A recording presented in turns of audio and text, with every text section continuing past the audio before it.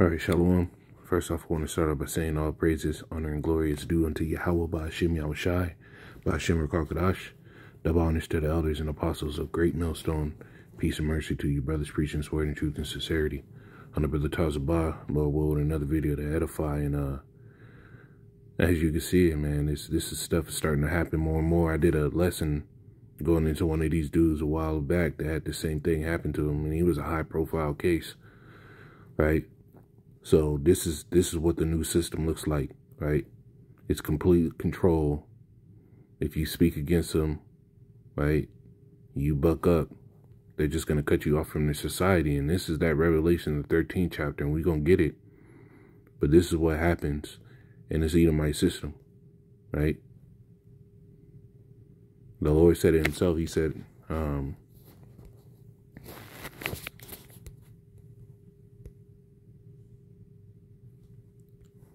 This is uh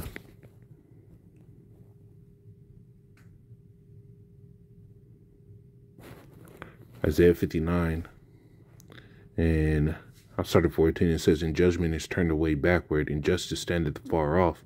For truth is fallen in the street and iniquity cannot cannot enter. And that's what's happening right? Anybody that speaks up against their system because Esau is a liar and the father of it right?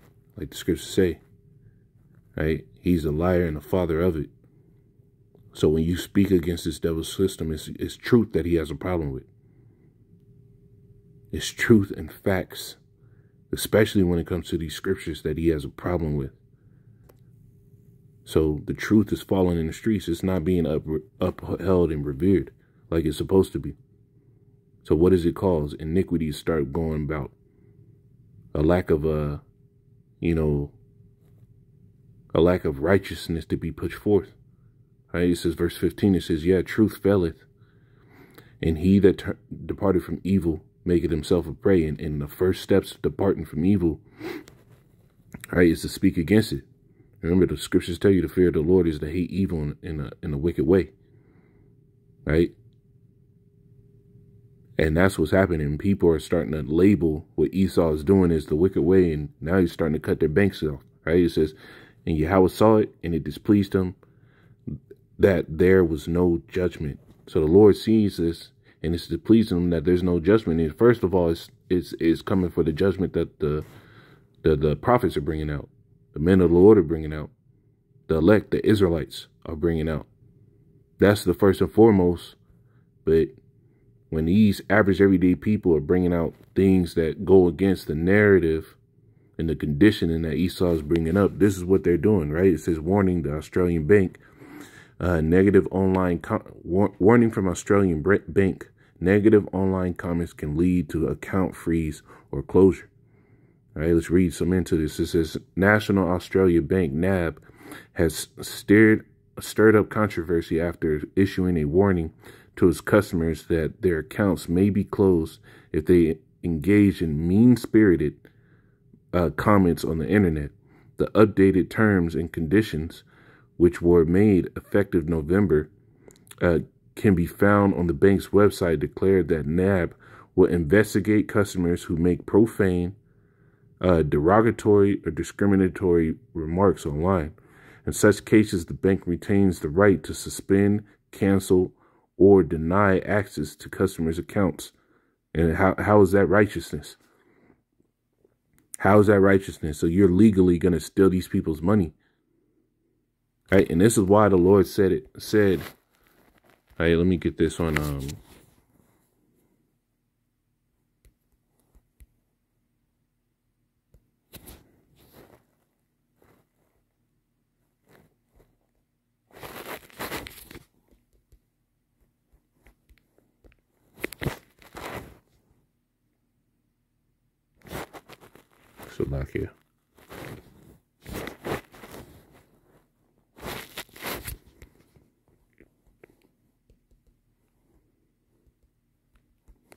We didn't have any real precepts prepared for this. Uh, Matthew's uh, 6 and 19, it says, Lay not up for yourselves treasures upon earth, where moth and rust doth corrupt, and where thieves break through and steal, but lay up for yourselves treasures in heaven. Right? Laying up your treasures on earth you'll come to situations like this. There's another article I got. Where is it at? It says, um, yeah, here it is. Citibank customer now faces painful 120k loss. A Citibank customer is now facing a painful 120k loss after the bank froze her deposits and threatened to close her account. A woman in Arizona says her life savings of 120k has disappeared from her bank account after transferring her money from the regional California bank called Farmers and Merchants reports that CBS affiliate news station KPHO. Right? She lost everything. And and and I read earlier in the article that it was looking like there's no getting it back. Right? And that apparently these cases are going up to where the banks are reporting suspicious activity and only 40% of the cases right here. It says, however, according to the Bank Policy Institute, just 4% of S, uh, suspicious account, um, how does it go? Suspicious activity reports, right?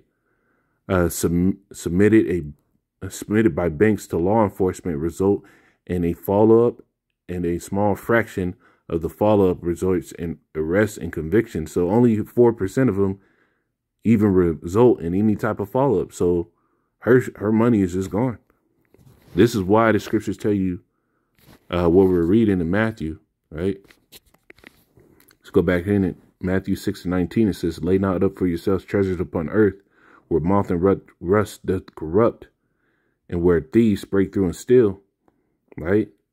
But lay up for yourselves treasures in heaven, where neither moth nor rust doth corrupt, and where thieves do not break through nor steal. For where your heart is, for where your treasure is, there will your heart be also, right?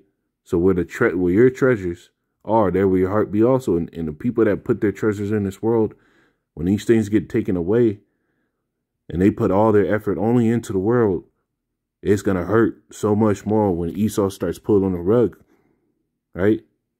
All these gun hole, so-called conservative uh, Christians and everything, they they put their money into this world, and we're coming down to the time where these devils are about to be the thieves that are going to break through and steal and going to covet everybody's money because the system is rich and poor, free or bond. It's not, you know, middle class in there. It's just rich and poor. That's it. So the system is getting set up to uh, put forth a system like that. So let me read the rest of this article. It says, um, uh, the updated terms and conditions were made effective from November and can be found on the bank's website, declared NAB uh, will declare that NAB will investigate customers who, who make profane, derogatory, and discriminatory remarks online. In such cases, the bank retains the right to suspend, cancel, or deny access to the customer's account. The terms also provide a support number for customers to report concerns about other account holders. Right now, in the in the scriptures, it tells you that. Uh, um, let me see.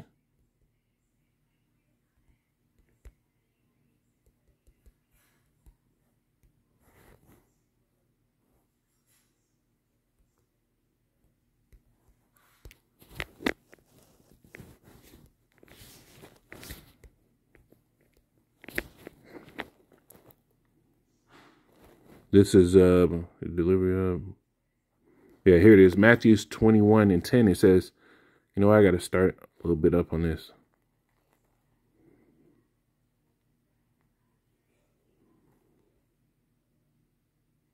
Yeah, 20 Matthew's 10 and 21 it says, "And the brother shall deliver up the brother brother to death, and the father the child, and the children shall rise up against their parents and cause them to be put to death." Right? So Esau is setting up a culture where everybody's going to snitch on each other because they're not going to want to lose what they have in this world. Right? This is this this is literally sowing discord because what they're putting up is to sow discord. So imagine when they put out the policy saying, "Oh, well, you didn't report this person. We see that you've been having all types of contact, and you knew their views. We got your text message streams." Right? It says NAB claims that the policy is an, is an effective is is an initiative aimed at combating domestic violence and elder abuse.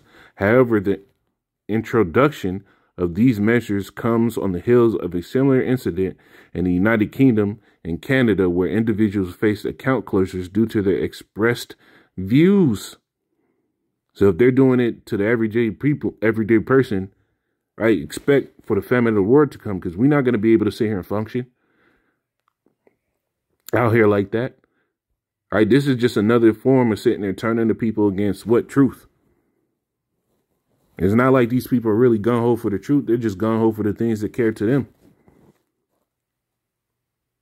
But at some point, this fight is going to turn directly against the Israelites, against the prophets, against the true believers, because we speak the truth and expose these lies. The scriptures tell you, let me get this, uh, no part.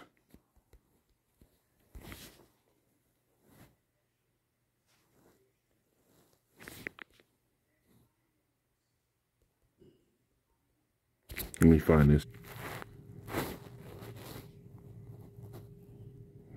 This is uh, Matthew or John 14 and 29. It says, And now I have told you before it come to pass that when it is come to pass, ye might believe. Hereafter I will not talk much with you, for the prince of this world cometh, cometh and had nothing in me. Right? So there's a portion of people, and this is really the, the, the prince of this world is talking about Esau that has no portion in the Lord, but he has followers that believe in him that have the same portion. They have no part in the Heavenly Father. Right? So we're coming down to the time where it's going to start showing who's with the Lord because for you to sit here and preach the truth, for you to stand up for the Lord in these last days, hey, it's, it's, it's going to be at the straight, direct threat of death, right? Having nothing, having to actually just dwell with the Heavenly Father. And a lot of people aren't going to be willing to do that because they look at the things that they can see more than the things that they can't see, which is with the Lord. Right? But we as being brothers that believe in this thing, we gotta we gotta trust and believe in the Heavenly Father, even if the threat of being destitute in this world, but we are not destitute of the hope in the Heavenly Father. Right? Let's get some more precepts. This is um Daniel. I wanted to go on this. This is Daniel 3. Because when you go through that article, this is just what it sounds like. Because we're coming down to that time now. In the time of Daniel, there was a time where a decree was put forth that you had to bow down and worship. And we're coming back into a same time like that where you have to bow down and worship or you're under the threat of death. Uh, Daniel 3 and 9, it says, They spake and said, said to the king Nebuchadnezzar, O king, live forever. Uh, thou, O king, has made a decree that every man that shall hear the sound of the cornet, the flute, harp, sackbut, psaltery, dulcimer, and all kinds of music shall fall down and worship the golden image. And we're coming down to the time where this devil's going to set up his image, which is a digital image, which comes with a digital set of rules and regulations, which comes with, with the same portion and the same threat of death. It says, and and whoso falleth not down and worship that that he should be cast into the midst of the burning fiery furnace. There are certain Jews whom thou hast set over the affairs of the province of Babylon, Shadrach, Meshach, and Abednego. These men, O king, have not regarded thee, for they serve not thy gods, nor worship the golden image which thou hast set up. And that's exactly the time we're coming into. Remember, the scriptures tell you there's going to be an insurrection upon those that fear the Heavenly Father. Right? that upon those that fear the Most High. So we, our job is to be the Jews that do not worship the gods of this world, right? Where these people see a loss of food and everything like that, we see that the Lord, this world isn't the one that supplies the food; it's the Lord that supplies it. Like Nate, like Nate said, we got to work with. We got. Hey, he said he doesn't hate Esau because he has to work with him, right? because the scriptures tell you we go to, to him for the one of all things. Yeah, we got to go to him for a job and shit like that, but it's the Lord that feeds us, man. The scriptures tell you, hey, the Lord feedeth the fowls of heaven, and are well, now we better than many uh, many sparrows, man. You know, roughly paraphrasing. Esau don't control shit. It's the Lord. There's nothing that this devil can do that that usurps the authority that the Lord has over all creations. We just got to trust in the Heavenly Father. But we're coming down to that time, right, where that new image is being set up, which is this digital system, and they're going to cut off anybody who don't agree. But have a mindset to know that, hey, the Lord spoke of these things, and the Lord also spoke of his right hand making moves, man. Revelation 13 and 16, and he calls it all, both small and great, rich and poor, free and bond, to receive a mark in their right hand or in their foreheads, and that no man might buy or sell save he that had the mark or the name of the beast or the number of his name. You got to bow down and worship for this system. This is what they're saying. You're not going to be able to buy or sell. And if they taking all your money because you said something against their plans, you ain't going to be able to buy or sell. So we're obviously coming down to the time where the mark of the beast is about to be set out, which is that RFID microchip. And it's going to come with a digital ID right? They've been working on these things for a long time. You're gonna have a membership into the system, and they, they the, the the basically the membership cards to the system is uh they had a thing that was very big for a while, and it's called non fungible tokens, right? NFTs. Right, those NFTs are basically a show of a membership, and those chips are gonna have your personal NFT linked to whatever country and system you're with whatever account they give you. And you're not going to be able to buy and sell unless you take what they offer. And right now they're putting all the, the, the, the bits and pieces together to show you that this is their shit. But at the end of the day, the Lord's the one that's going to make his his his his power known, man. It's Amos 5. Amos 5 in um verse 10. It says, They hate him that rebuke in the gate, they abhor him that speaketh uprightly. And that's exactly what the time we're going to come down to because they're not worried. Hey, you can have a dude that agrees with everything in this world, like Charleston White, say whatever the fuck he wants. He's not going to get fucking demonetized and, and ripped down. They'll keep him up, but let an Israelite bring out the words of these scriptures calling Esau Edom, telling the, the judgment of the scriptures that the Lord has for Edom, right? They're going to take you down and take your money for that. This is the time we in, man. It says, um, I'm going to end it on this one. Isaiah 32 and 7. It says, The instruments also of the churl are evil. He devised wicked devices to destroy the poor with lying words. And this is the destruction for the poor right? Because even the people that sit here got one hundred twenty thousand dollars in their savings and their bank account and shit, making all this money, right? They just well off to us, everyday poor person that just fucking lives paycheck to paycheck. To the elite, them niggas is for uh, they, them niggas is destitute, and that's what they're pushing for. The system where it's the destitute versus the well off, the rich, right? It says, even when the needy speak it rightly. Right? So if you want to speak rightly in this world, hey, they're gonna they're gonna devise these wicked devices against us. This is the this is the nature of the battle. But the Lord said he was gonna protect us, man. So you fight for the truth unto death, and the Lord shall fight for you. Shalom.